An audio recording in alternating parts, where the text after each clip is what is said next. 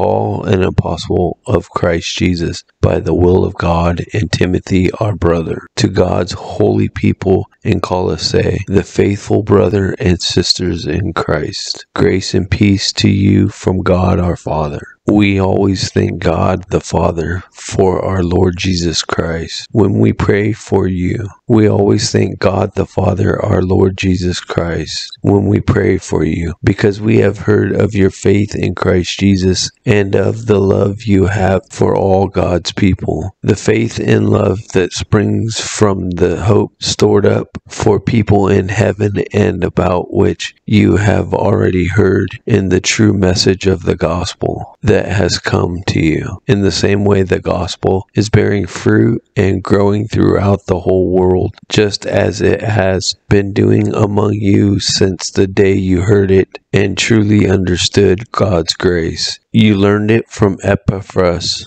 our dear fellow servant, who is a faithful minister of Christ on our behalf, and who also told us of your love in the Spirit. For this reason, since the day we heard about you, we have not stopped praying for you.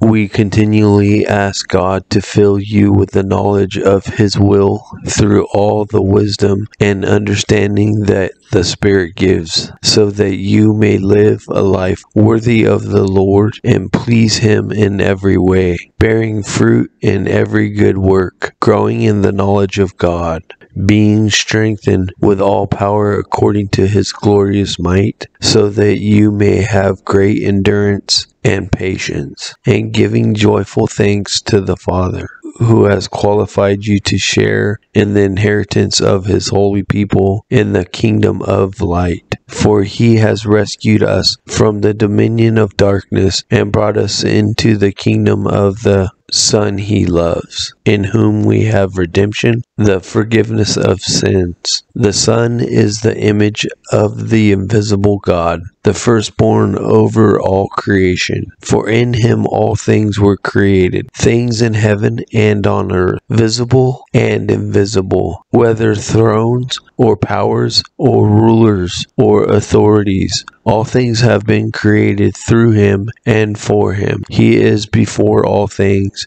and in him all things hold together. And he is the head of the body, the church. He is the beginning and the firstborn from among the dead, so that in everything he might have the supremacy. For God was pleased to have all his fullness dwell in him, and through him to reconcile to himself all things, whether things on earth or things in heaven, by making peace through his blood shed on the cross. Once you were alienated from God and were enemies in your mind because of your evil behavior, but now he has reconciled you by Christ's physical body through death to present you holy in his sight, without blemish and free from accusation. If you continue in your faith, established and firm, and do not move from the hope held out in the gospel. This is the gospel that you heard that has been proclaimed to every creature under heaven, and of which I, Paul, have become a servant. Now I rejoice in what I am suffering for you, and I fill up in my flesh what is still lacking in regard to Christ's afflictions, for the sake of his body, which is the church. I have become its servant by the commission God gave me to present to you the Word of God in its fullness, the mysteries that has been kept hidden for ages and generations, but is now disclosed to the Lord's people. To them God has chosen to make known among the Gentiles the glorious riches of this mystery which is Christ in you, the hope of glory. He is the one we proclaim, admonishing and teaching everyone with all wisdom, so that we may present everyone fully mature in Christ. To this end, I strenuously contend with all the energy Christ so powerfully works in me. I want you to know how hard I am contending for you and for those in Laodicea and for all who have not met me personally. My goal is that they may be encouraged in heart and united in love, so that they may have the full riches of my complete understanding in order that they may know the mystery of God, namely Christ, in whom are hidden all the treasures of wisdom and knowledge. I tell you this so that no one may deceive you by fine sounding arguments. For though I am absent from you in body, I am present with you in spirit, and delight to see how disciplined you are and how firm your faith in Christ is. So then, just as you received Christ Jesus as Lord, continue to live your lives in Him rooted and built up in him, strengthened in the faith as you were taught, and overflowing with thankfulness. See to it that no one takes you captive through hollow and deceptive philosophy, which depends on human tradition and the elemental spiritual forces of this world rather than on Christ. For in Christ all the fullness of the deity lives in bodily form and in Christ you have been brought to fullness. He is the head over every power and authority. In him you were also circumcised, with the circumcision not performed by human hands. Your whole self, ruled by the flesh, was put off when you were circumcised by Christ, having been buried with him in baptism, in which you were also raised with him through your faith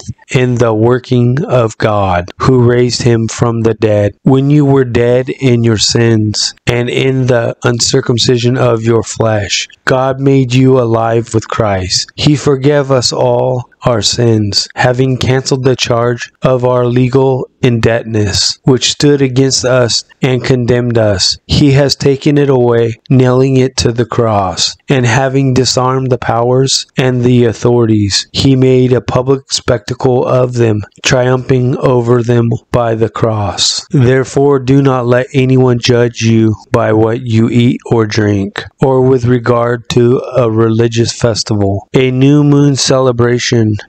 or a Sabbath day. These are a shadow of the things that were to come. The reality, however, is found in Christ. Do not let anyone who delights in false humility and the worship of angels disqualify you. Such a person also goes into great details about what they have seen. They are puffed up with idle notions by their unspiritual minds. They have lost connection with the head, from whom the whole body, supported and held together by its ligaments and sinews, grows as God causes it to grow. Since you died with Christ to the elemental spiritual forces of this world, why, as though you still belonged to the world, do you submit to its rules? Do not handle, do not taste, do not touch. These rules, which have to do with things that are all destined to perish with use, are based on mere human commands and teachings. Such regulations indeed have an appearance of wisdom. With their self imposed worship, their false humility, and their harsh treatment of the body, but they lack any value in restraining sensual indulgence. Since then you have been raised with Christ, set your hearts on things above, where Christ is, seated at the right hand of God. Set your mind on things above, not on earthly things. For you died, and your life is now hidden with Christ in God. When Christ, who is your life, appears, then you also will appear with him in glory. Put to death, therefore, whatever belongs to your earthly nature sexual immorality, impurity, lust, evil desires, and greed, which is idolatry. Because of these, the wrath of God is coming. You used to walk in these ways in the life you once lived, but now you must also rid yourself of all such things as these anger, rage, malice, slander, and filthy language from your lips. Do not lie to each other, since you have taken off your old self with its practices, and have put on the new self, which is being renewed in knowledge in the image of its creator. Here there is no Gentile or Jew, circumcised or uncircumcised, barbarian, Scythian, slave or free, but Christ is all and is in all. Therefore, as God's chosen people, holy and dearly loved, clothe yourselves with compassion, kindness, humility, gentleness, and patience. Bear with each other and forgive one another if any of you has grievance against someone. Forgive as the Lord forgave you. And over all these virtues put on love, which binds them all together in perfect unity. Let the peace of Christ rule in your hearts, since as members of one body you were called to peace, and be thankful. Let the message of Christ dwell among you richly as you teach and admonish one another with all wisdom through psalms, hymns, and songs from the Spirit, singing to God with gratitude in your hearts. And whatever you do, whether in word or deed, do it all in the name of the Lord Jesus, giving thanks to God the Father through him. Wives, submit yourselves to your husband, as is fitting in the Lord. Husbands, love your wives and do not be harsh with them. Children, obey your parents in everything, for this pleases the Lord. Fathers, do not embitter your children, or they will become discouraged. Slaves, obey your earthly masters in everything, and do it not only when their eye is on you, and to curry their favor, but with sincerity of heart and reverence for the Lord. Whatever you do, work at it with all your heart, as working for the Lord, not for human masters, since you know that you will receive an inheritance from the Lord as a reward. It is the Lord Christ you are serving. Anyone who does wrong will be repaid for their wrongs, and there is no favoritism. Masters, provide your slaves with what is right and fair, because you know that you also have a master in heaven. Devote yourself to prayer, being watchful and thankful, and pray for us too that God may open a door for our message, so that we may proclaim the mystery of Christ, for which I am in chains.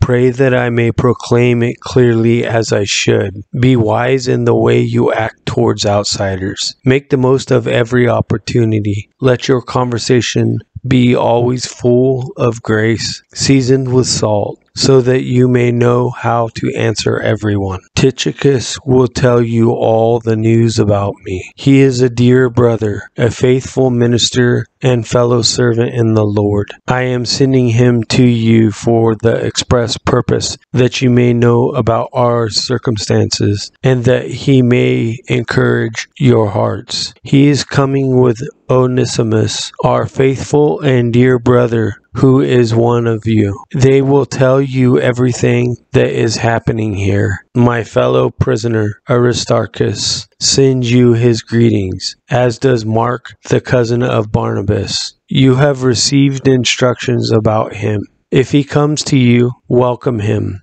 Jesus, who is called Justus, also sends greetings. These are the only Jews among my co-workers for the kingdom of God. They have provided a comfort to me. Epaphras, who is one of you and a servant of Christ Jesus, sends greetings. He is also wrestling in prayer for you, that you may stand firm in all the will of God, mature and fully assured. I vouch for him that he is working hard for you and for those at Laodicea and Hierapolis. Our dear friend Luke the doctor and Demas sends greetings. Give my greetings to the brother and sister of Laodicea and to Nympha and the church in her house. After this letter has been read to you, see that it is also read in the church of the Laodiceans, and that you in turn read the letter from Laodicea.